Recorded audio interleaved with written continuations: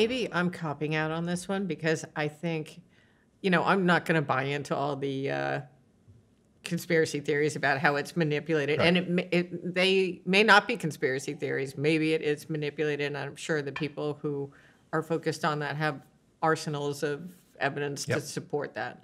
But I just think about it more in terms of conversations I have with my customers and and the response I get, the body language, the snickers, the hard typing on the keyboard, um, to suggestions that gold might have a place in your portfolio. Um, and I think it gets back to that idea that things that you and I have talked about here are just so beyond the realm of what they view as possibility Yeah.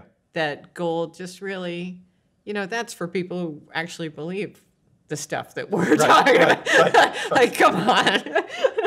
Ah, so it's not something that the average investor really thinks has a place in their portfolio. I mean, why would you carve out 5% away from an investment grade bond, Yeah. you know, that's actually pre junk that could earn you 4%, you know, if you get repaid Yeah. for this piece of metal that, eh, Yeah, well, that, I mean, this, this is what I always struggle with because when you think about this stuff, and this conversation has really kind of brought it into perspective for me, is that one by one, the subjects you and I have discussed today, you could argue very cogently that gold is a solution to each and every one of them, Yeah. right? You, you say, what's the solution to MMT? Well, own gold. What's the solution to uh, massive corporate debt defaults? Well, it's gold. right. Equity markets falling, it's gold. And yet, the dollar falling, it's gold. It, so, you know, I really find it interesting that um, that the price is just kind of not doing much, and people not really bothered about it, except the fanatics on both sides of the argument who are still in there, you know, waging war against each other on Twitter Feeding and other places. heads into the wall. But but at the meantime, central banks are buying gold yeah. at a faster pace than I can remember in the last sort of 10, 15, 20 years. and, and they're not necessarily trying to hide it. No. Anyway, you know, No. You know, so, something is happening. It's not reflected in the price. I have no idea why that is. I mean, I've read some smart arguments as to why uh, the price would go down when central banks are buying it, and it, it kind of makes sense to me. But I really, I really struggle to understand why more people aren't just thinking about it a bit more, you know, and saying, "Well, let me let me talk to Steph about." She's always been hammering me about gold. Let me have the conversation with her now, well, can I put it back to you? please. Because some of it I feel like is why wouldn't I own cryptocurrency rather than gold? And I'd be interested because I, as you, as I demonstrated, am clueless about why cryptocurrency should be viewed as better than any other form of money, much less gold. But how, do you, when you talk to people or you think about it yourself, how do you compare gold versus cryptocurrency as an alternate? Look, I, I I'm I'm probably eighty percent the luddite you are. Um, actually, no, probably forty percent. Yeah, I was don't gonna know how say, much I don't- I you are. Yeah, it's way less than that. But but but but but again, you know, the crypto thing, I, I totally get it. Um, I, I made the conscious decision a while ago that if I want to stay current on You have to own some, right? you have to own some, which I do a little bit, but it's neither here nor there.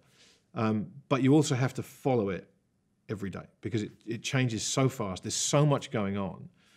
And the intellectual capacity of the people who are deep in that space is so much greater than mine in the area that I'm always going to be at a disadvantage. And so I have friends of mine that pay attention to this and I sort of leech off them their knowledge. The one thing I keep asking myself, and, and uh, I'm sure I'll get plenty of answers again in the comment section. Thanks for dragging me under the bus with you. is you know we're 10 years into this thing now, and for all the promise and all the um, potential that this thing has, I've yet to see the killer app. I don't see someone saying, "Aha, there's the perfect demonstration of what the blockchain is about." Except Bitcoin. Uh, you know, people argue that Bitcoin is the killer app. Well, that's been around since day one. So uh, there's all these companies doing amazing things in the crypto space, and I've spoken to a lot of these people, and they're incredibly bright, incredibly smart people with, with big ideas. But I'm still waiting for someone to say, "Oh yeah, here's an, here's something tangible that you can understand why this thing is the future." You know, conceptually, I get it, Yeah. but it seems to be taking a lot longer than I would think when I look at the amount of brain power being mm. thrown into this thing. Mm-hmm. So I, I'm like you. I'd, I'd rather have some gold because I, I know what it is. I know how it acts in a crisis. I know that if if the electricity gets cut off, as long as I've got a torch, I can find where I buried it. Right. I'll put the address on Google Maps. So I so yeah, I mean I I, I, I just I, I I don't understand what the price is doing. I don't understand a lot of the, the movements in the gold markets, but what I do understand is what it does in a crisis. Mm-hmm. And that's you know, really what I care about. I don't Right, care about the price between now and the crisis. I care about when the day you need to have some. If you don't have any, it's too late. Yeah, you're not going to be able to get it for sure.